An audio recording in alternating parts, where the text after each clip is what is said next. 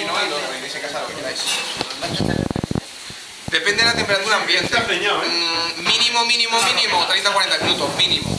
Pero lo suyo es que esté unas horas, ¿eh? A mí yo en casa cuando hago los rojones, este año, yo por ejemplo, este año he tenido tiempo y los he hecho todos. Los de Nochebuena, para Nochevieja, para Reyes. Y la masa la hacía y la dejaba la víspera en la nevera. La levadura con frío no crece, o crece muy poquito. Pero estaba en la nevera 24 horas y la levadura estaba comiendo. Claro, esa está Claro, doce. luego lo sacas la amasaba y en un momento hacía pop. ¿El problema cuál era? Que la gente en casa lo quería para desayunar.